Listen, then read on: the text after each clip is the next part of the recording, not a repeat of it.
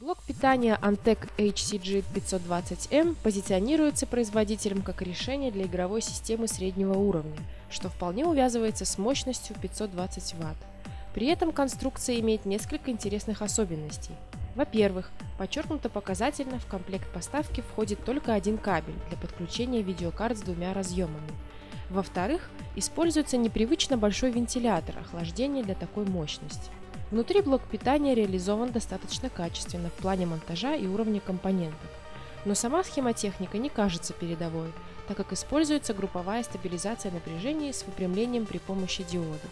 Электролитические конденсаторы представлены маркой Rubicon, поэтому нет никаких сомнений в их долговечности.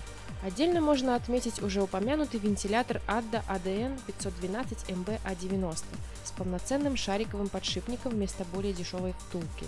Этот факт, опять же, увеличивает теоретическое время работы без появления неприятностей. По 5 и 12 вольтовым линиям хорошо видны огрехи групповой стабилизации в режиме максимальных перекосов нагрузок. Однако в реальном компьютере эти области оказываются невостребованными, а в рабочих частях никаких проблем не наблюдается. В итоге можно констатировать полное соответствие требованиям стандартам ATX, что гарантирует нормальную работу оборудования – при этом все обозначенные токи Antec HCG520M выдает без проблем. Эффективность преобразования оказывается не слишком впечатляющей, что вяжется с типовыми показателями диодного выпрямителя. В пике она достигает 87%.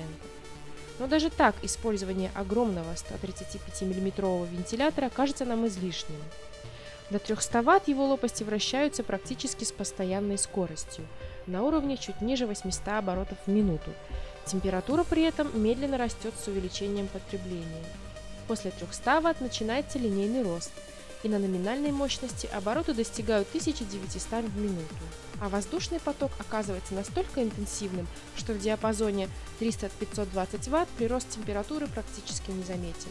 Отсюда следует, что разработчики вполне могли уменьшить производительность кулера, но, вероятно, не сделали это ввиду повышения надежности устройства.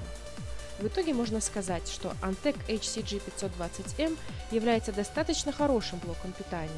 Очевидно, что установив производительный кулер с полноценным подшипником и использовав качественную элементную базу, разработчики позаботились о надежности источника, а его нагрузочная способность не вызывает никаких нареканий.